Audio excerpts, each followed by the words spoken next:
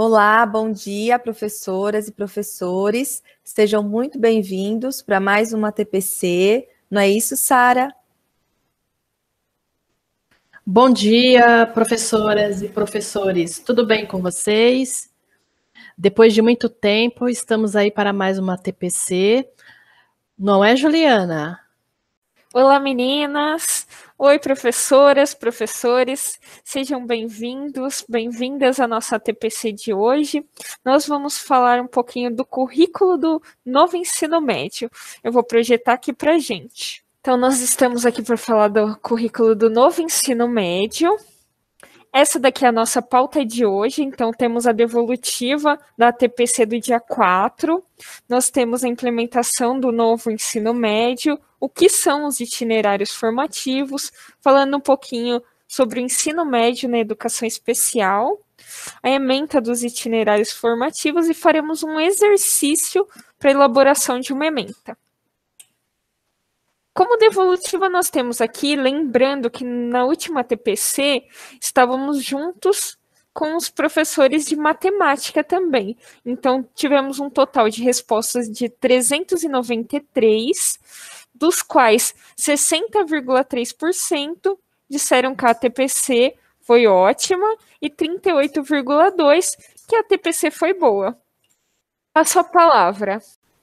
Bom, agora eu vou falar um pouquinho para vocês sobre a implementação do novo ensino médio nas escolas do estado de São Paulo.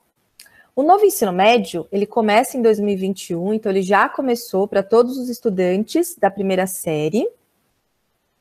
E essa implementação, ela está sendo feita de forma gradual, ou seja, agora ela está acontecendo somente para os estudantes da primeira série. Em 2022, ela acontecerá para os estudantes da segunda série e em 2023 para os estudantes da terceira série do ensino médio.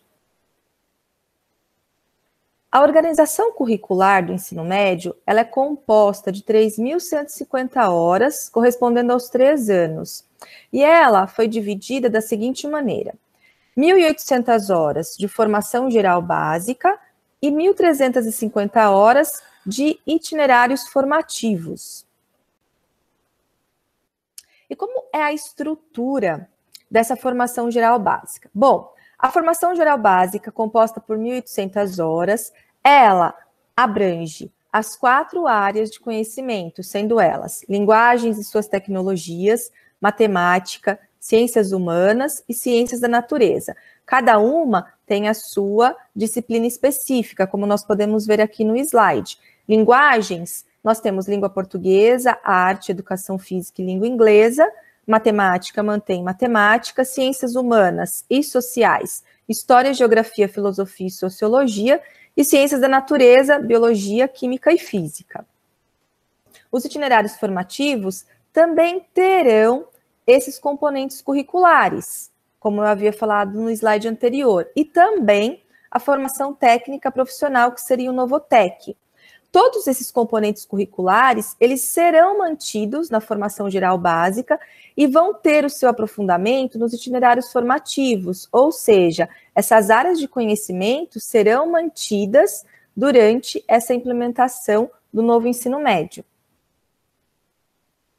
E o que são os itinerários formativos? Os itinerários formativos, eles são um conjunto de unidades curriculares ofertadas pelas instituições de ensino, que irão possibilitar ao aluno escolher conforme o seu interesse para aprofundar os seus conhecimentos e também para se preparar para o mercado de trabalho ou prosseguimento dos seus estudos em uma ou mais áreas de conhecimento que eles irão escolher e também na formação técnica profissional. Cada escola ela terá que ofertar no mínimo dois itinerários formativos e todas as áreas de conhecimento elas devem estar contempladas nas opções ofertadas pela escola. Mas aí pode vir a pergunta: como uma escola com uma única série de segundo ano do ensino médio poderia aí contemplar as quatro áreas de conhecimento? Nesse caso, essa escola ofertaria dois itinerários formativos com áreas integradas, ou seja, ciências humanas e linguagens, ciência da natureza e matemática. Dessa maneira, as quatro áreas de conhecimento seriam contempladas nesses dois itinerários ofertados por essa escola. Lembrando que cada escola tem a sua realidade.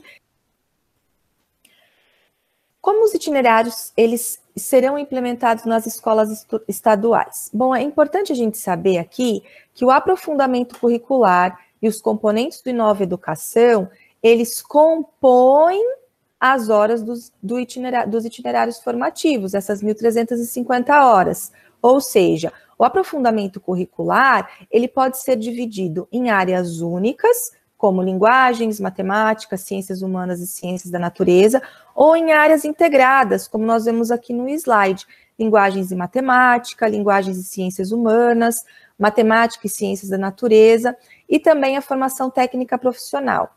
É importante também ressaltar que não são todas as escolas que têm a formação técnica profissional Novotec. Essa implementação, ela está ocorrendo também nas escolas, mas não são todas que terão aí esse aprofundamento curricular que é o Novotec. E lembrando que os componentes do Inova, eles fazem parte também desses, desses itinerários, como eu falei para vocês, dentro do aprofundamento curricular. O aprofundamento curricular, o aluno ele irá escolher para começar a cursar o ano que vem. Então é bom a gente sempre deixar claro que aprofundamento curricular, componentes do Inova Educação, compõem os itinerários formativos. Aqui nós temos um exemplo em horas de como será essa divisão de formação geral básica e itinerários. Na primeira série do ensino médio, o aluno ele terá 900 horas de formação geral básica e 150 horas de itinerários formativos, que são os componentes do Inova Educação, tecnologia, eletivas e projeto de vida. Já na segunda série do ensino médio, o aluno ele terá 600 horas de formação geral básica e 450 horas de itinerários formativos, que continuam os componentes de nova educação, porém, a diferença é que na segunda série do ensino médio irá entrar o aprofundamento curricular. Já na terceira série, serão 300 horas de formação geral básica e 750 horas de itinerários formativos, continuando com os componentes do Inova Educação e mais horas de aprofundamento curricular. Aqui a gente tem uma visão em número de aulas, para ficar mais claro para todos entenderem. Na formação geral, na primeira série do ensino médio, o aluno ele tem 30 aulas, contando duas de projeto de vida, duas de eletiva e uma de tecnologia, totalizam 35 aulas. Já na segunda série, ele vai ter 20 aulas de formação geral básica e aí 10 aulas de aprofundamento curricular e mantém a mesma grade para os componentes do Inova Educação e totaliza também 35 aulas. E já na terceira série do ensino médio, serão 10 aulas de formação geral básica e 20 aulas de aprofundamento curricular e mantém-se também a mesma carga para os componentes do Nova Educação, totalizando 35 aulas. Aqui nesse slide fica mais claro para que nós possamos compreender que o número de aulas ele será mantido. A única diferença é que o aprofundamento curricular ele vai entrar para fazer parte dos itinerários formativos e a formação geral básica vai ter essa diminuição de aulas, porém acrescida no aprofundamento curricular. Nós temos aqui um exemplo de unidade curricular do itinerário formativo de ciências da natureza. O que, é esse exemplo de unidade curricular? Vamos supor que a escola é, contemple ali um componente curricular chamado diferentes fontes de energia. Então, se nós fizermos assim uma divisão de como seria a carga horária e qual professor estaria habilitado para dar essa aula, para dar esse componente curricular, seria da seguinte forma: duas aulas por semanas, com uma carga horária de 30 horas. A qualificação prioritária seria um professor de física. Porém, um professor de biologia também poderia ministrar essa aula dentro desse componente curricular. Um outro exemplo seria a microbiologia aplicada. Seriam três aulas semanais, 45 horas de carga horária. A habilitação prioritária seria um professor de biologia, porém, um professor com qualificação em química também poderia ministrar esse componente curricular, esse itinerário. É, no último, uh, na última linha, nós temos um componente curricular chamado eficiência energética. Nesse caso, nós temos ali o professor qualificado de biologia, mas a habilitação também entraria um professor de física ou de química. Então, essa integração, ela se fará muito necessária dentro desse novo programa do ensino médio. Ou seja, é, muitas áreas de conhecimento estarão ali integradas para poder ministrar essas unidades curriculares, que nós né, chamamos aí de itinerários formativos, e abrangendo todas as áreas de conhecimento para que todo professor tenha aí a qualificação e o acesso de dar essas aulas. Bom, agora eu vou convidar a Alexandra, PCNP de Educação Especial, para falar um pouquinho da educação especial no novo ensino médio, que é um assunto muito importante para vocês. Bem-vinda, Ale. Olá, bom dia, professores. Muito obrigada, meninas, por participar de mais uma TPC junto com vocês. É, dessa vez vamos falar sobre o ensino médio. Qual a importância da educação especial no novo ensino médio? Né? Nossos alunos de educação especial, eles estão aí, eles precisam de atenção, e eu estou aqui para tentar esclarecer um pouquinho mais e ajudar vocês a preparar as suas aulas, as adaptações para as crianças da educação especial. Bom, eu trouxe essa imagem de igualdade e equidade. Por quê? A imagem fala por si só, né? Quando a gente fala de igualdade de direitos, você vê que cada menino recebeu um caixote. Só que não foi feito justiça, certo? Porque esse menino de estatura menor, de blusa azul clara, ele não consegue assistir o jogo. No entanto, na figura número 2, o menino de estatura maior cedeu o caixote para o menino de estatura menor. Agora sim, foi aplicado o, o, conceito da equidade, pois todos os meninos conseguem assistir ao jogo de futebol é um senso de justiça, de direitos, para que todos tenham acessibilidade. Agora, eu vou dar um exemplo para vocês, para ficar mais claro. E na sala de aula, como que isso funciona? A igualdade e a equidade. É diferente na nossa sala de aula, concordam? Lá na nossa sala de aula, a gente sabe assim, as salas de aula elas são heterogêneas. Todo, tem vários tipos de aluno, é muito misto o público. Eu vou dar um exemplo na sala de aula.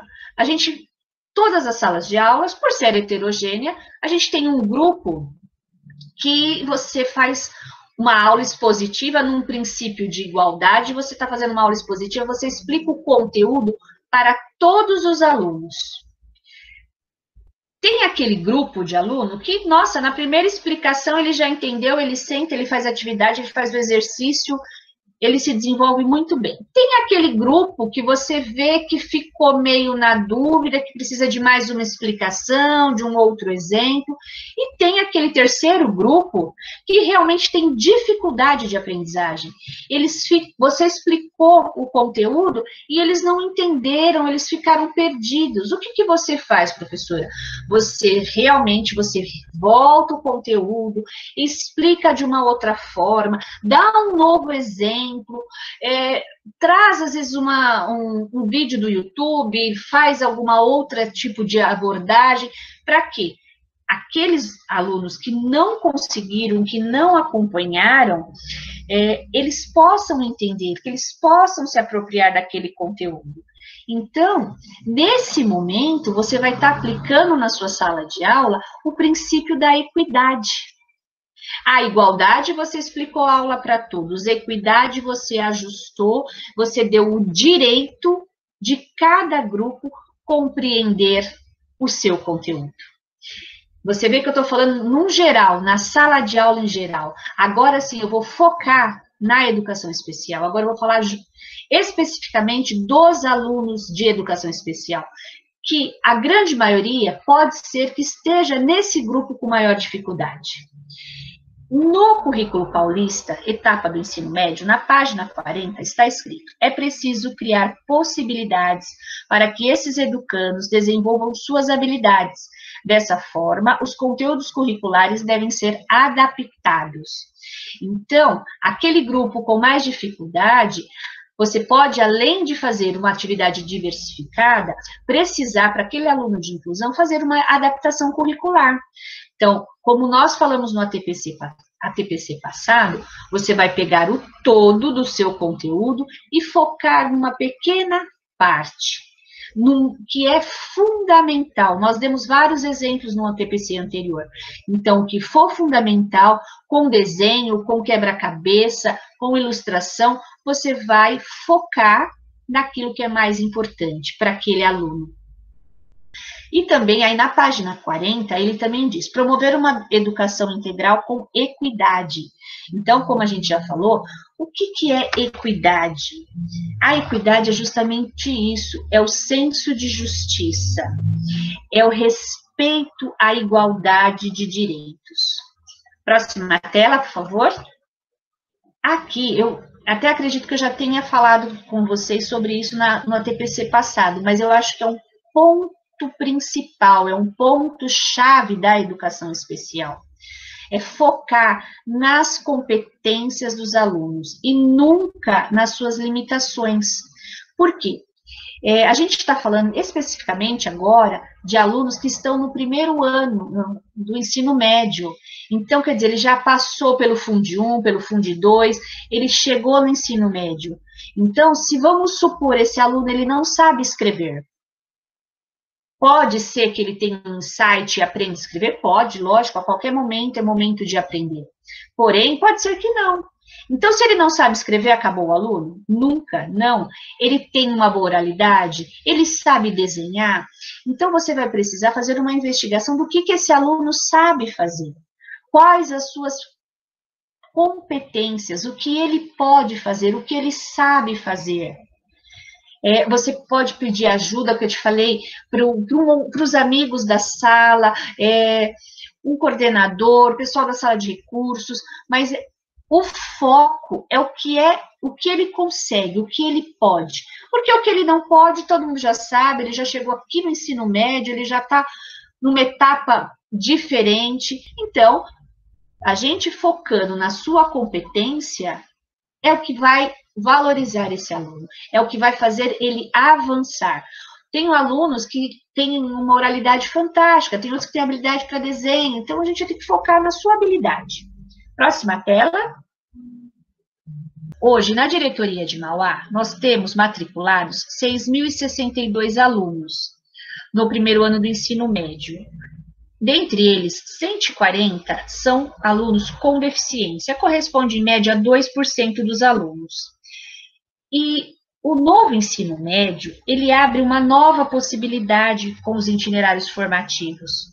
Porque o itinerário formativo é aquela parte flexível do currículo, onde os alunos poderão escolher qual itinerário eles irão se aprofundar, tendo sempre em vista as suas potencialidades, favorecendo assim o seu aprendizado.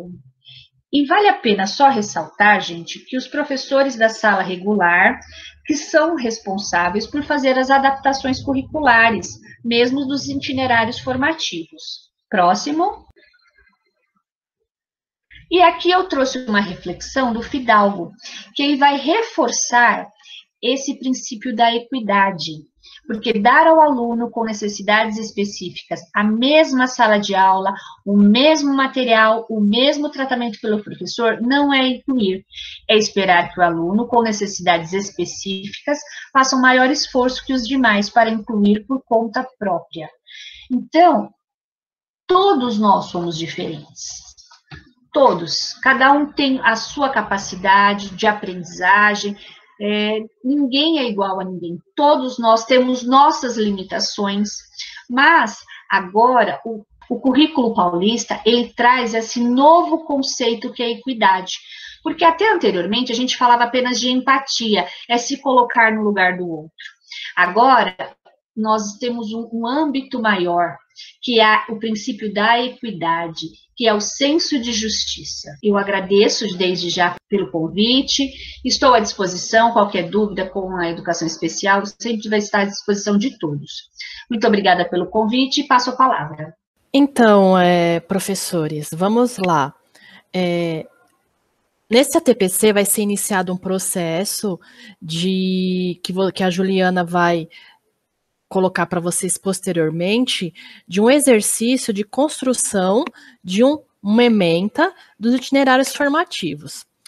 Vamos retomar as, os, os, os, seguintes itens, que os itinerários formativos, eles serão nada mais do que uma nova forma de se trabalhar os componentes curriculares dentro da área de conhecimento ou entre áreas de conhecimento. Então é o seguinte, para se fazer esse exercício de construção de uma ementa, é, vocês necessitam de um estudo prévio. Como que será esse estudo prévio? Não é um estudo individual. Além de ser individual, ele é um estudo coletivo. Ou seja, a partir de agora, vocês irão é, estudar e trabalhar com os professores da mesma área de conhecimento, de outras áreas de conhecimento, porque a, os itinerários, eles permitem a, a, troca de experiências, o trabalho colaborativo. Então, a partir de agora, é necessário um trabalho colaborativo entre todos os professores para se fazer esse estudo e fazer esse exercício e compreender, exercitar e compreender como que funciona um itinerário formativo. Então, a primeira etapa é a apropriação do currículo do ensino médio. Sabemos que vocês já têm esse currículo em mãos, que vocês já estão é, se apropriando a, é, em etapas do estudo desse currículo. Porém, para esse momento, agora se necessita é, focar em alguns itens. Então vamos lá, colocamos aqui o link do Drive do currículo paulista da etapa do ensino médio. Quando vocês abrirem esse documento, vocês vão se atentar, primeiramente, para as páginas 16, 18, 23 a 41, que ele fala justamente dos princípios do currículo paulista do ensino médio. Em seguida, vocês já vão é, se direcionar para a parte dos itinerários formativos, que é da página 196 a 203 que é onde é, é, explicado o que é o itinerário e como ele vai é, ser executado. Na página 218, é, são tratados os itinerários formativos específicos da área de ciências na, da natureza. E depois, logo em seguida, na página 222, é apresentado orga, os organizadores curriculares dos itinerários formativos da área de ciências da natureza. E logo a seguir são apresentados itinerários formativos integrados, ou seja, a, a, é oferecida a possibilidade de você trabalhar entre áreas do conhecimento diferentes. Muito importante também, nós temos o fundamento principal dos itinerários formativos, que está na portaria 1432. Depois, no link a seguir, é mostrado também alguns protótipos dos itinerários formativos que já foram construídos é, num seminário anterior de Ciências da Natureza, onde houve participação de professores, de PCNPs e vários atores envolvidos. E também temos que considerar é, os, ah, os 17 Objetivos do Desenvolvimento Sustentável, que está no link logo a seguir. Então vamos lá. É muito importante termos em mente que essa portaria 1432 ela é uma portaria do governo federal. E é, qual é o fundamento dela? Quando se fala em itinerários formativos, os itinerários formativos é uma novidade que está, que está muito bem escrito na BNCC, né? A BNCC ela traz aí é, essa nova forma e ela discute também a flexibil, é, dentro do tema flexibilização curricular. Então, os itinerários formativos eles são compostos por eixos estruturantes que estão ali, que constam na BNCC. Quais seriam esses eixos estruturantes? O primeiro deles é investigação científica. É, os itinerários formativos construídos de acordo com a escolha dos professores, eles têm é, que contemplar esse eixo temático, investigação científica.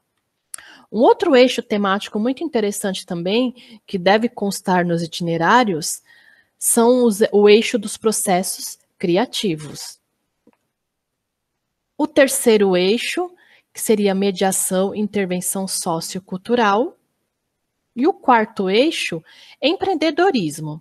Então, é muito importante na construção da ementa de escolha, é, quando se escolhe o itinerário formativo, quando se vai construir a ementa, é, tem que se escolher também o eixo estruturante dessa ementa, como outros elementos também que serão colocados a seguir.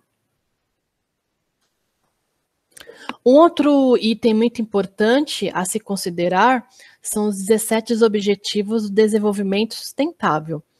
Ah, nós sabemos que a BNCC ela está alinhada com a Agenda 2030. Logo, ela está alinhada é, com os 17 ODS. Então, ah, os objetos de conhecimento é, trazidos da BNCC e trazidos no nosso currículo, eles estão alinhados aos 17 ODS. Então, no itinerário formativo, já que o aluno ele vai fazer um percurso, né, é, os objetos de conhecimentos, tanto as habilidades e as competências, devemos considerar também esses 17 ODS. Então vamos lá. Uma perguntinha para reflexão. Quais são os tópicos importantes que não podem faltar na elaboração do aprof dos aprofundamentos curriculares. Com base nas habilidades e objetos de conhecimentos que constam no organizador curricular da formação geral básica, quais não podem faltar nos aprofundamentos curriculares de sua área de conhecimento. Então, aí nós temos que refletir, é, partir do contexto da escola, né? É, vocês, enquanto professores dos componentes de ciências da natureza, pensando na, no contexto da escola, no perfil de estudantes na escola que vocês trabalham, quais seriam os tópicos importantes? Chamariam a atenção desses estudantes e colaborariam é, para eles continuarem e terem, é, ao final do terceiro ano do ensino médio, já um projeto de vida construído e alinhado a uma área do conhecimento. Temos que pensar também que o currículo ele é, estrutura não só ele não está estruturado não só no projeto de vida, mas um projeto de vida falando de ensino médio alinhado a uma profissão. Então vamos lá. Como que é feita uma ementa de um itinerário formativo? Nós trazemos aqui os tópicos dessa ementa. Primeiro, toda ementa ela tem que ter um título, né? Nome do aprofundamento curricular. Esse título, ele é, pode ser um título, ele tem que ser um título interessante, um título que desperte o interesse é, dos estudantes. É, mas o processo, é, ele, é, ele é parecido com o desenvolvimento de uma eletiva, né? Então vamos lá. Quando eu estabeleço um título, na verdade, a ordem de estabelecimento do título, ela pode ser tanto no, no início quanto no final da, da, construção dessa ementa. Aí fica a critério de vocês, porque é muito difícil, é, no primeiro momento, você estabelecer um título que esteja articulado com essa ementa. Então, se vocês preferirem é, estruturar primeiro essa ementa e depois é, nomear essa, essa ementa, fica a critério de vocês. O importante ter nessa ementa também é a descrição. O que será abordado nesse aprofundamento curricular? Também tem que ter uma justificativa. Qual a importância de desenvolver esse tema? Já que o currículo ele tem um contexto e esse contexto ele tem que contemplar a, as aspirações, o projeto de vida dos estudantes, ele tem que estar tá alinhado e tem que ter uma justificativa coerente perfil do egresso. O estudante, depois que ele cursar esse aprofundamento, o que, que ele será capaz de fazer? Pensando também é, na, no mercado de trabalho e na formação acadêmica. As competências gerais são as competências gerais da BNCC, que estão no nosso currículo paulista também. Elas devem, é, deve ser feita uma seleção dessas competências, elas devem estar alinhadas ao itinerário. Além das competências gerais, é, a ementa do itinerário, ela tem que ter competências da formação geral básica, que são as competências específicas da área de ciências da natureza, que são importantes para esse itinerário formativo. Também na ementa deve constar os objetivos, como já foi dito anteriormente, do desenvolvimento sustentável. Quais os objetivos do desenvolvimento sustentável que poderiam estar alinhados com esse itinerário? E além disso, muito importante também, um outro tópico que o nosso currículo, que a BNCC traz, são os temas contemporâneos transversais. Eles também têm que estar contemplados nesse itinerário e nessa ementa. Então, é uma tarefa que exige realmente um estudo e existe e exige também a colaboração entre os colegas, entre outros professores da área de conhecimento. Vamos lá. Quando se constrói uma ementa do itinerário formativo, é como se a gente estivesse construindo um curso, né? E esse itinerário formativo, como é que ele vai ser é, executado ao longo de um tempo, ao longo de uma quantidade de horas? Esse itinerário ele é dividido no que nós chamamos de unidades curriculares, né? Cada unidade curricular, ela vai, ela vai ser um bloco, como se fosse um bloco de um dentro desse itinerário formativo. E a soma desses blocos, nós temos aí o cumprimento desse itinerário formativo na totalidade. Quantos bloquinhos eu tenho que ter dentro desse itinerário? Quantas unidades curriculares? Seis unidades curriculares. Qual, como é que é, a princípio, a estrutura dessa unidade curricular? Depois que se fez, se pensou no itinerário, depois que se construiu a ementa dele, nós temos que pensar nesses bloquinhos. Esse bloco, ele contém um título, que tem que ser coerente com o nome do aprofundamento. Ele tem que ter uma descrição também. O que, que vai ser abordado nesse, nessa unidade curricular. E tem que ter o objeto de conhecimento de todos os componentes envolvidos nessa unidade curricular. Citar os componentes. Esse exercício ele vai ser feito aqui durante essa TPC e depois vocês terão que preencher um formulário. Segue o link desse formulário, certo? E nós temos que aguardar os próximos passos é, desse trabalho e desse processo aí, dessa construção. Passo a palavra. Professores, agora faremos esse exercício do qual a Sara já tinha falado, que é a construção, a elaboração de um itinerário formativo. Vocês podem optar por escrever aqui no YouTube as respostas a cada uma das perguntas para construção do itinerário. Vocês podem fazer isso num documento Word ou mesmo é, num caderno que vocês tenham para anotações. Fiquem à vontade para escolher os meios. Nós gostaríamos muito que vocês é, compartilhassem com, conosco aqui essa elaboração de ementa, mas fica a critério de vocês. Daremos, portanto, agora um minuto para que vocês possam aí separar os materiais para fazer essas anotações.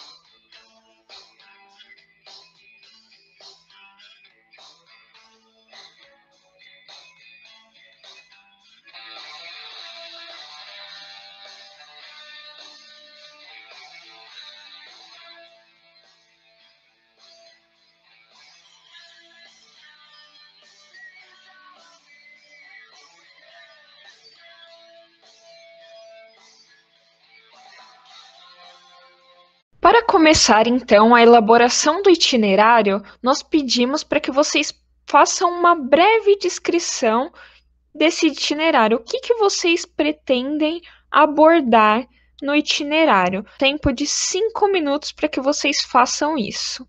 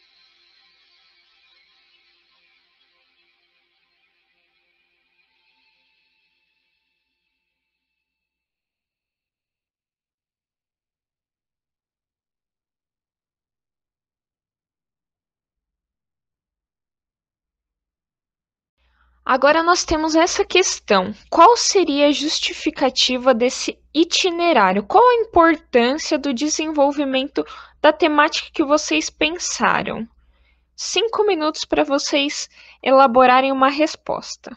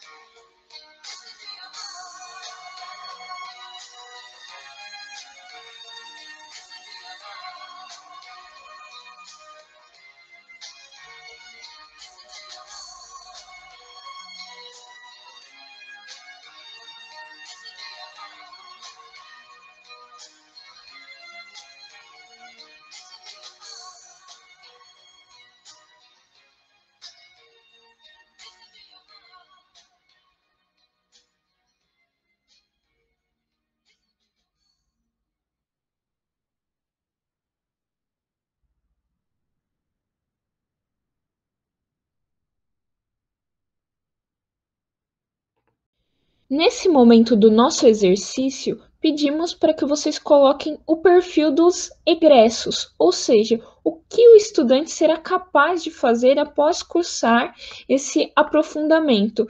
Aí pode ser tanto para o mercado de trabalho quanto para a formação acadêmica. Mais cinco minutos para essa questão.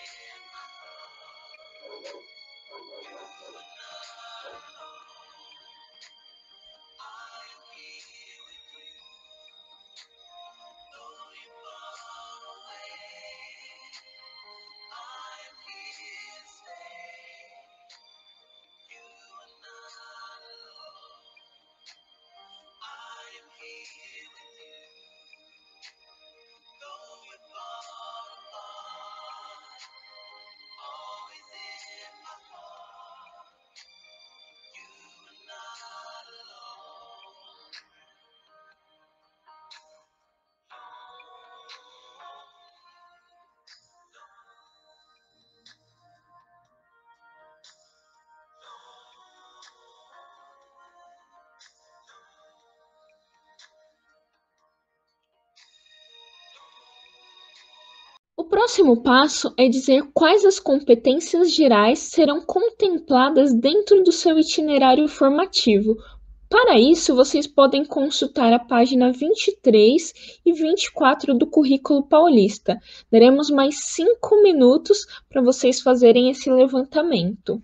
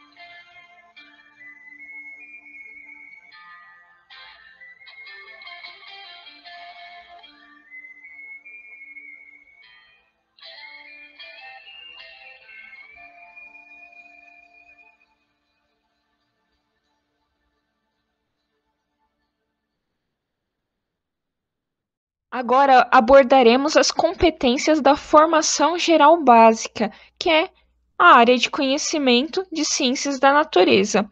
Para isso, nós conseguimos aí é, essas informações através da página 152 do currículo paulista, em que nós teremos as três competências gerais básicas para nossa área de conhecimento. Serão mais cinco minutos para vocês selecionarem e lerem com calma aí.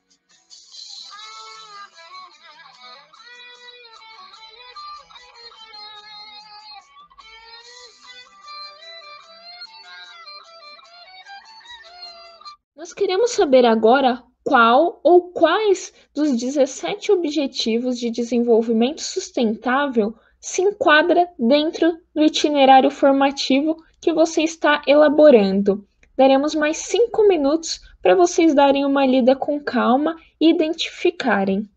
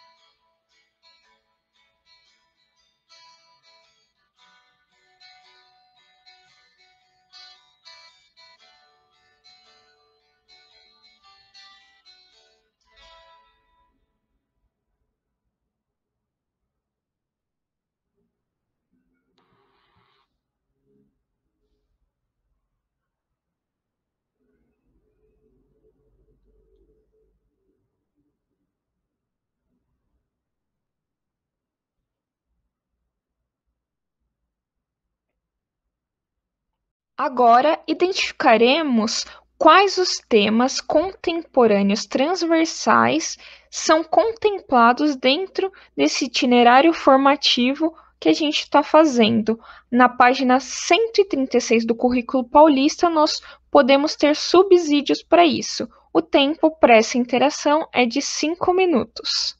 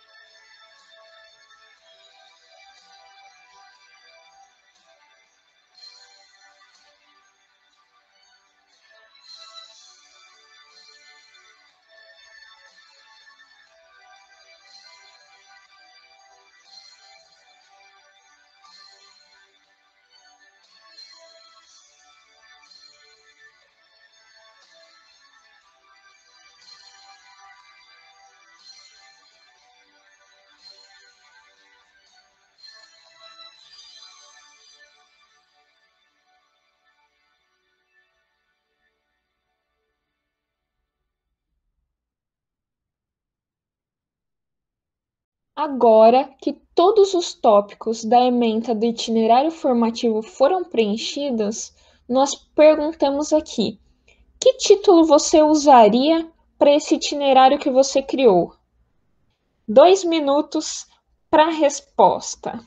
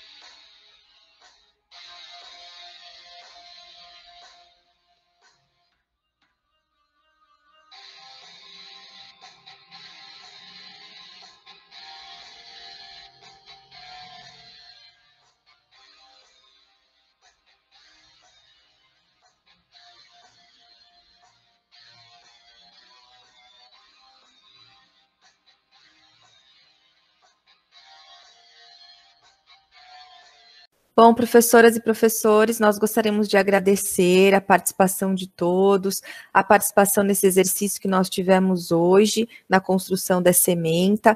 Como a Sara bem colocou, é muito importante que todos os professores, dentro das suas áreas de conhecimento, façam esse exercício, para que a gente tenha aí uma integração na construção desses itinerários formativos que estão sendo implementados aí nesses próximos anos. Não esqueçam de preencher a lista de presença, que está no link da descrição do vídeo. E lembrando que toda e qualquer informação que venha a ver depois sobre o ensino médio, nós estaremos aí passando para todos vocês. Estamos também aguardando aí os próximos passos de toda essa construção. Então fiquem atentos e fiquem calmos, que nós estaremos aí passando tudo certinho para que vocês tenham acesso a essa construção que está acontecendo. Aqui nós temos os links de onde encontrar os materiais sobre o novo ensino médio. O primeiro link é o site da EFAP, do Currículo Paulista. É, o segundo link, nós temos os materiais sobre o novo currículo do ensino médio. Lembrando que existe um repositório também com vídeos, outras formações, as lives semanais de quarta-feira que estão acontecendo, para tirar dúvidas e para que a gente possa aí compreender melhor essa, essa implementação. Nós também temos o link das formações anteriores e perguntas frequentes. Nós agradecemos a, a participação de todos, um bom dia e muito obrigada.